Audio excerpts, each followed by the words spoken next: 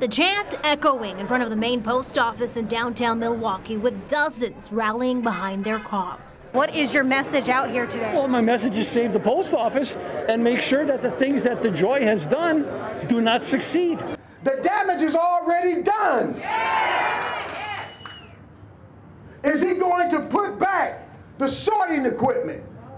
Is he going to put back the mailboxes? And passionate speakers took to the mic, they say, not only to protect the post office, but to urge citizens not to fear voting by mail. We can't have folks standing in line getting sick. That pandemic is real. I almost died. Postal workers have also been successfully handing, handling vote by mail for generations. It is tried, tested, safe, and secure. Now, this is all part of a larger day of action protest, and not only did demonstrators express where they stand when it comes to USPS, they expressed where they stood when it comes to the White House.